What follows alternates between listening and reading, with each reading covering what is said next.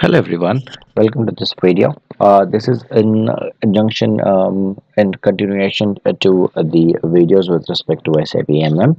Now uh, the purpose of this video is to see how to create a storage location, how to create a new storage location uh, for a particular plant.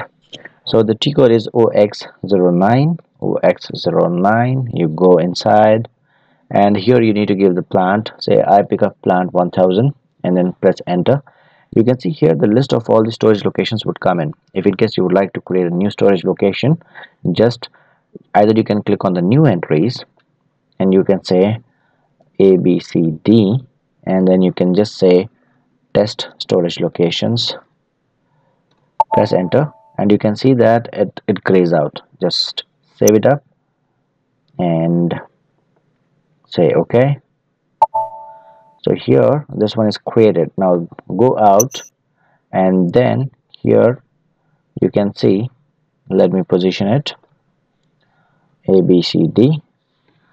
So you can see here here you can see your storage location.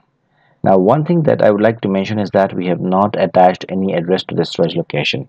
So in the next video we will see how to attach a storage location address to a storage location. So let me save and let me come out of it all right. Thank you for watching this video. Have a great day